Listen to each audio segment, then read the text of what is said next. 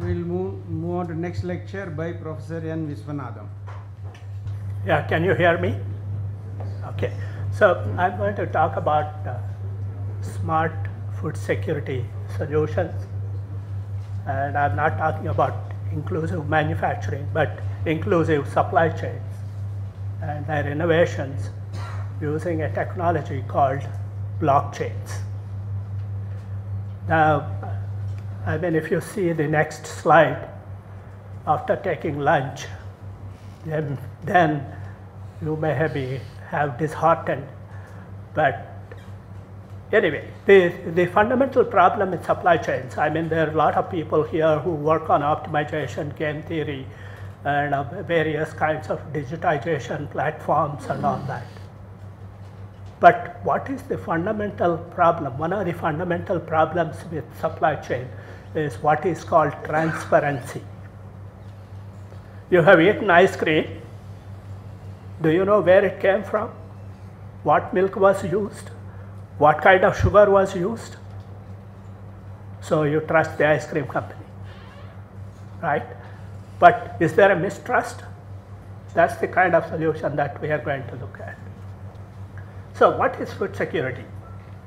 There is a, World Food Summit in 1996 which said it exists when all the people at all times have access to sufficient, safe, nutritious food. I think I want to underline the word nutritious food to maintain a healthy and active life. So physical and economic access is important. And there is a lot of surveys done, Global Hunger Index, and there is the basically uh, uh, several other indices which based on infantile mortality, undernourished population, stunted children below five, and so on. So, but I don't want to say this, but India ranks very low in this. It goes to 90 out of 130. So the government of India has launched several initiatives like public distribution system, midday meal, and so on, and millions of hawkers in all major cities are self-employed and serve the needy cause of providing food to the urban poor. And none of these are nutritious. Including your ration, you get rice, you get wheat, you get sugar, you get kerosene. It doesn't add to nutritious food. So how do you get the nutritious food? So I have a smart tech food security solution. I used to work on manufacturing in the 80s. Then I shifted to work on supply chain and logistics. Now I work on what are called business models. Now, since I work on business models, I want to write down CVP means customer value proposition. What is the value proposition? Provide nutritious food, not grains, at affordable price and accessible locations, and create awareness among the people. So I have processed food, the farms which supply groceries as well as uh, the vegetables and so on, mineral and dairy products. They are manufacturing companies. Now, in other countries, 80% of food is processed, whereas in India, only 5% is processed. And out of that 5%, the maximum goes to atta and other kinds of things. So there is no processed food products here, and that needs to be improved. And second thing is that will, in my solution, it will go to distribution centers.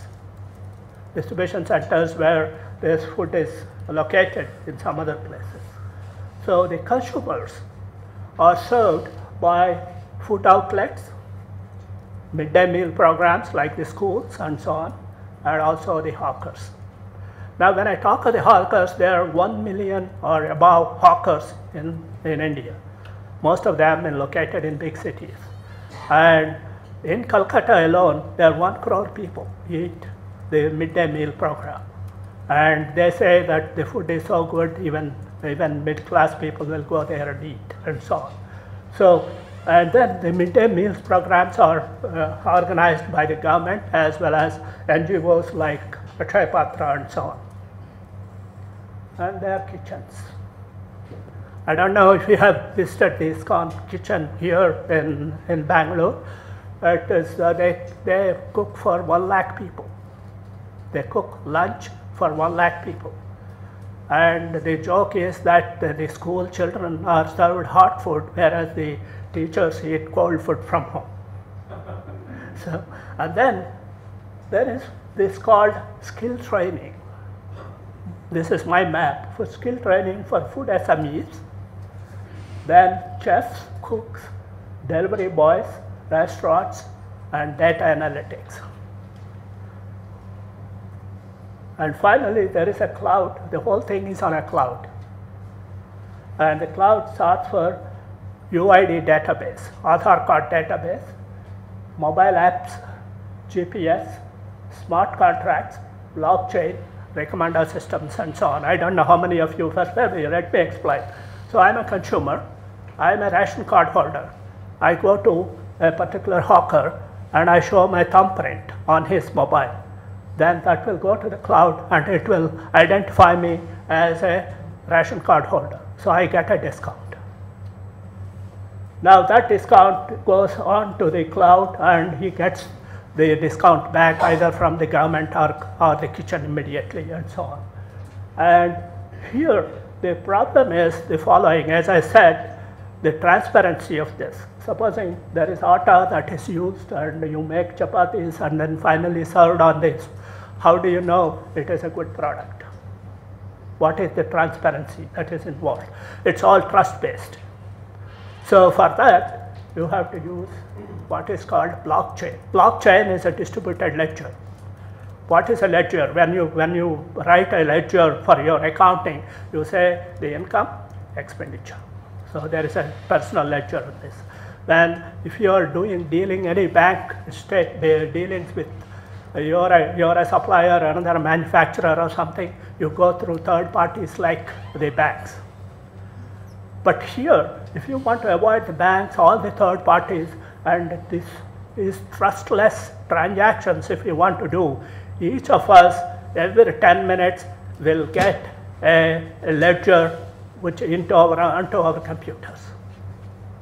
So that is the blockchain technology, and I don't know how many of you heard, but there is what is called Bitcoin. You may have heard, and Bitcoin, behind Bitcoin is this blockchain technology. Now, blockchain technology also does what is called smart contracts. Now, one thing you will agree with me that all this is unorganized. Where does the hacker get his stuff? He cooks it on the road. He gets the oil, everything from a neighborhood 24 uh, Kirana store. And Kirana store gets it from a mandi and so on. But here we want to organize it because we want to know where the food has come from. So if we want to organize it, then all these people have to be under a contract. In other words, the hawker has to get it from a kitchen, the kitchen has to get its stuff from a distribution center, and they have to get all these things from there. So there is a soft contract or smart contract, which is a software, and it is like a software program which is ex executed whenever the conditions are met. In other words, if the hawker says, I have received this material from the kitchen, and the material is 20 numbers of uh, whatever and so on, once he presses the button, the money is paid to him. And if he finds that quality is not good, then the quality is not good kind of condition, condition goes here.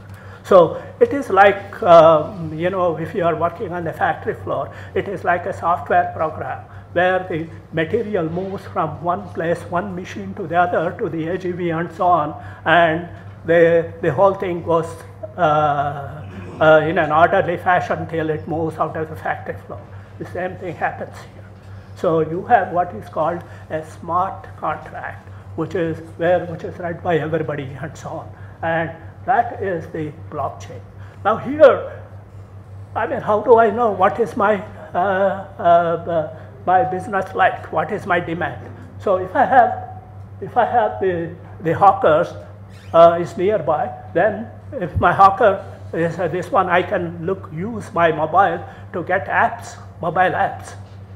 Where the hawker is, what he is containing, and so on. So I can use this and I can locate the mobile, the uh, hawker or various food outlets and so on using the GPS. Like you can find out where the uh, other things are. So it, what happens is in the kitchen, what is to be cooked today?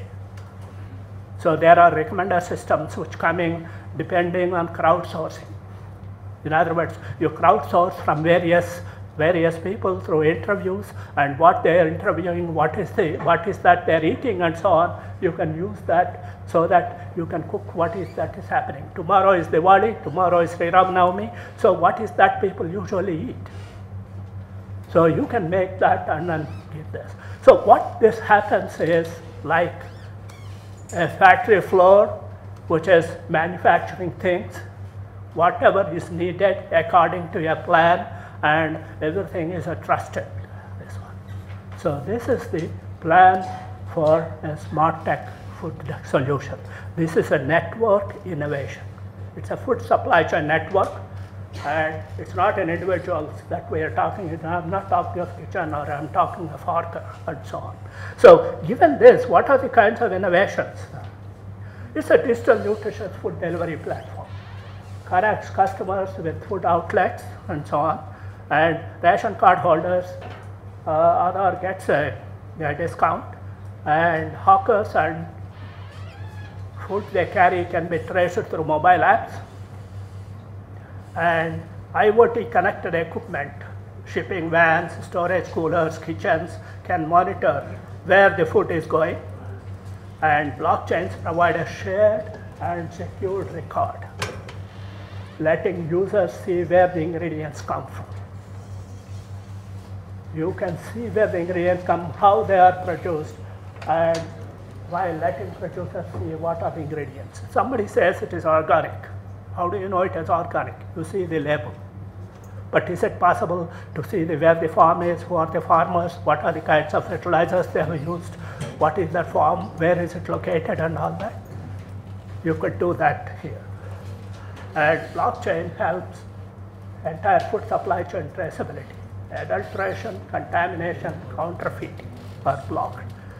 Now you may have seen several TV shows where everything is, is contaminated. You see your milk has Fevicol in it, or uh, you know, I did not have to mention whatever.